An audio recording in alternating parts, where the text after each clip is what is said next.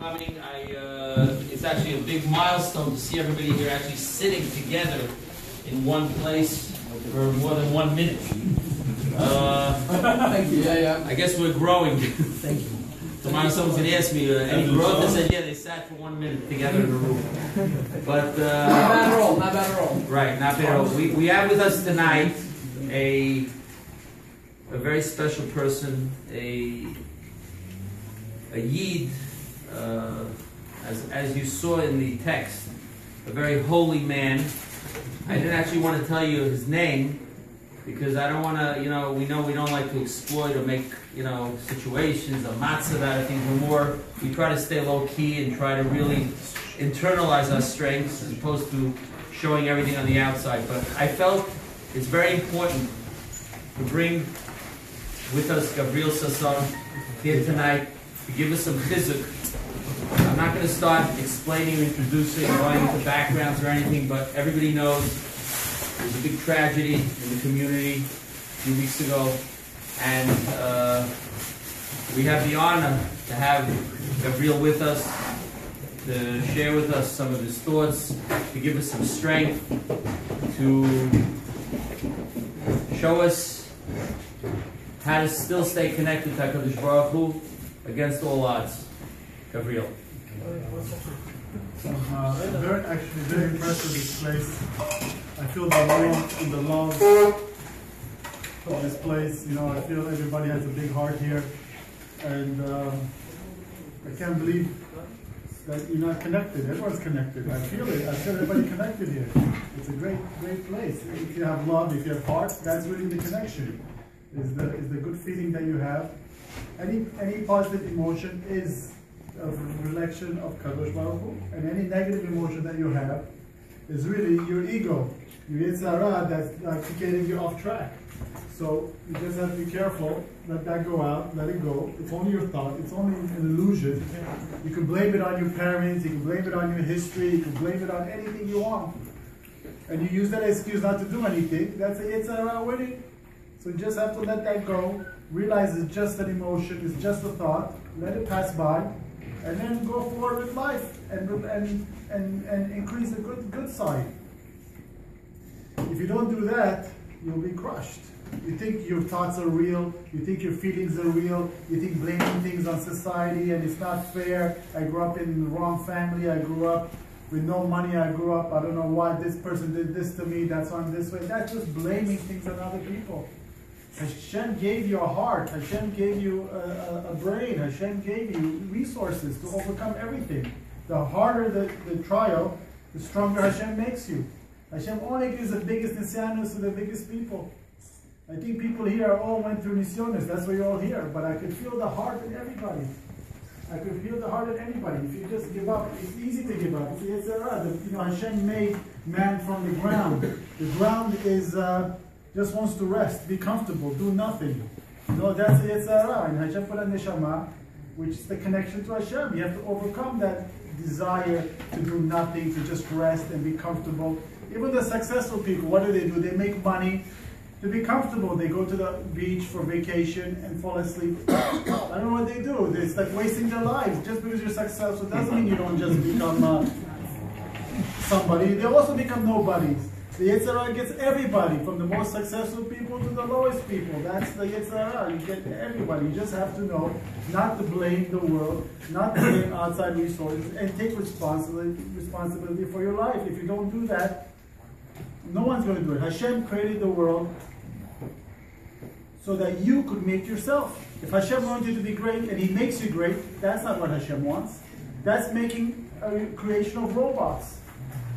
But he wants you to do the job so he can have a relationship with you. If you don't become great, then Hashem can't do anything. He wants you to become great. He gives you nisyonos to become great. But you have to do the job. Otherwise, who's Hashem going to relate to? He wants to relate to somebody that built himself. If Hashem made you great, Hashem gave you all the good good parents, good money, good this, good that, and you grew good, what's the, what's the big deal? Hashem said, I did it. What, what kind of relationship is that? He wants a relationship with you. He wants you to grow. He wants you to be great so he can relate to you. And when you love Hashem, you feel it. You feel it. I feel the love over here. It's very strong. You can't waste your life. You know, Hashem made a beautiful creation. and he made, you know, all kinds of misiones, all kinds of things, and it's up to you. Like I could just give up, but that's stupid. I will ruin my life. Let's say I go, oh, you know, all my kids died, I have nothing. I really did lose everything in this world. I can give up and be nobody. What, what's that? I waste my life. Is that is that what Hashem wants? Is that what I want? So what you, you you dealt a raw deck of cards. You could just pick up and go from there and be successful. You could. There's no problem. The only thing is, you listen to you can't you look on oh uh, you feel sorry for yourself and do nothing, which is not productive, or you say, okay, I learned a lesson, I know what it feels like to be there, and, and take what did Hashem want me to learn from this situation, go right there and go on. It's, it's, uh, it's not so hard. If you, you know what makes that? There's a midrash that says like this: the Yetzer Hara sits in the fork of a road, sits in the fork of a road, and he's sitting on he's sitting on a chair and has a blanket over his legs, he has a gun in his hands. I, I forgot. I mean, they don't they have gun in those days, but I'm changing a little bit. I don't remember the oh, motion exactly. He has a gun in his hands. He's holding up people coming by, and they all say, "Oh no, oh no!" And they give it to the Yetzer Hara. But one guy comes and pulls off the blanket. He says, "No legs." What it means, no legs? No legs means it's all an illusion. It's not true. It's just you believe your thoughts that you can't do anything. So you believe it, and then you don't do anything. It's just a thought. It's a limiting belief. Everybody has limiting beliefs. I'm not good enough. The world is a tough place. I'm going to fail. Uh, all those kind of thoughts, they're not true. People, kids have those thoughts growing up, right? And they believe it, and then they go according to that belief. But you have to realize it's only a belief, it's not true. Why, why is one person able to do something and another not? Because this person believes he can't, and this believes, person believes he can. That's the only difference. Successful people think they could do it, so they do it. It's only a belief, it's only a tzara, it's all an illusion. You have to realize that. The emet is, you could decide your own reality. You could decide what beliefs to believe in. And you really have to want it. Hashem is here to help you. He is. You think He's abandoning you, but He's really here all the time for you. He's here all the time for you. And, and He'll give you a harder test so you can overcome it and you'll be greater. People like in our situation end up being greater than anybody. Somebody who had all the right parents, the right money, the right situation, the right teachers. Okay, they're nice, they're good, they're doing well, but did they, did they build themselves up? No. You have a chance to build yourself up. And that's what Hashem wants. Hashem wants you to build yourself up. That's what He loves. That's what He created you for. It's, you know, you're on a much higher level. People on these kind of situations are on a much higher level so because they built themselves up. So you have to realize that first of all, to be to get somewhere, you have to have a goal in life also. You think, oh, I mean, if you go without a goal, you go from here to there to here to there, and never get anywhere. You know, every Jew, the the, the Pirkei Avot says like this. The Pirkei Avot says, uh, you should think of the day of your death. What does it mean you should think of the day of your death? So my Rav Noach Weinberg, one of my Rosh Yeshivas, told me that um, you should know what you want to die for. Every Jew wants to die al kiddush Hashem. Every Jew wants to die al kiddush Hashem. You know, I don't feel so bad because I see my kids die al kiddush Hashem. That was their purpose. Look, they're changing the world. People are being moved. They're doing tshuva from it. So for me, that's a nechama because they died al kiddush Hashem. You ask an American parent what you want your kids to die for. There's no, I don't want them to die. They should just be happy and comfortable. But that's an American way of thinking. Just be comfortable and you get nowhere. What do you want to die for? What do you want to die for? What's so important to you that you want to die for? You have to know what that is. And once you know what that is, you can live for it. How do you want to be Mekadesh Shem Shamayim? By doing kiruv, by helping other boys, by being a Talmid Chacham, by uh, all different kinds of ways. Everybody according to what he likes, what he wants. You have to know what you're willing to die for. What gives you meaning? You know, maybe go to the go to the army to help Am Yisrael. You know, or different different kinds of things to help Am Yisrael or to help other Jews. What are you willing to die for? Everyone's willing to die for the Jewish people and, and deep down. Everybody has that. But how? So once you know what you're willing to die for, you have to live for it. Live for it every day. And that, that's how you're going to make great. This is what I'm living for. You have a goal, you have a purpose. You could go the rest of your life without a purpose and you'll float and you won't accomplish anything. So what I'm telling you here today is you have to have a purpose. You have to realize that the, all your negative beliefs are is just an illusion. It's not true. It's just the etc. You could ignore it. You could let it go. You don't have to believe it. You know, it's easy for me to say, but you know, because in the end you believed it. You believe that you're not good enough. You believe that you can't do it. You believe it. How are you going to get out of it? You have to let it go.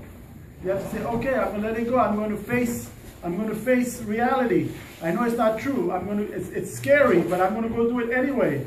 I'm willing to die for it, so what? If one's willing to die for it, you can let go of everything. If you're willing to die for the Jewish people, so what if you think you can't do it? Or if you're going to be embarrassed, if you don't think you're not good enough. If you're willing to die for it, you can go forward and go through and finish. You can accomplish. It's only your thoughts that's preventing you, nothing else. It's only emotions. You might feel a lot of anger. You can also let that go. Just welcome it up, feel it, it'll go. If you try to resist it, I'm going to fight it, you're not going to succeed. Just feel the feeling, let it go, let it pass by. It's, it's just temporary illusion going through. So that's that's how you have to do it. All you know, all this negative, blaming society and not accomplishing anything is is uh, to be nothing. To be nothing is just a you know a weak way out. Rebelling against your parents to get them back. So what? Your life you're depending on your parents. You're going to rebel against your parents because you want to get back at them. That means you you're, you're stuck, you're, you're not independent at all. You're so dependent on your parents, you have to rebel against them. You really want to be independent? Don't care about what they think or what they did or what they didn't do. Be the greatest you can be. That's total independence. But to rebel, that's total dependency because you're going against them to get them back. So you're dependent on them exactly, you know. You know, Yitzhak, Yitzhak Avinu in the Chumash, if you look, his story is exactly like Avram Avinu's story. He, uh, he, he got married, he went down to Israel. I mean, he wanted to go down to Israel, he couldn't. He did this, Avimelech, um, he said it's, it's his sister, just like Avraham Avinu. He dug the same wells Avraham Avinu did. Did exactly the same thing Avraham Avinu did. Exactly the same things. And you know, his midah is gevura. So where is his gevura? He's, he's a copycat. You know why he's a gevura? He did exactly what his father did, and he didn't bother him. He was his own person, did it his own way. He wasn't stuck to his father. He did what his father did, but you know, I'm an independent person. He didn't say I'm going to do the opposite of my parents. Because if he does opposite of parents, that, that's so dependent because you need something to fight against. So you're defining yourself according to your parents if you do opposite of your parents to rebel. No, forget about rebelling. Do what's right. Do what you're willing to die for. Be as great as you can be. Face your emotions. Face your thoughts. Realize they're all illusions. Hashem's help, you can do anything you can. You could accomplish great things. Hashem is there for you. Hashem is there. You could really accomplish. Look at all these people who accomplished here. I'm sure there's people here went through over here that became uh, uh, unbelievable people. Someone who faces has, you know, who starts off in, a, in the minus could really become great. Could really become great. I guess that's why, you know, uh, I'm moving people because they see that I lost everything and it's, you know, it didn't get to me because I know the emes. I know the emes. And you know, I get this across to learning Torah. If you don't learn Torah, I won't be anywhere. It's the, all the, uh, you know, Baruch Hashem. I was Amel Torah many years, so I know what's right, what's wrong, what's illusion, what's reality.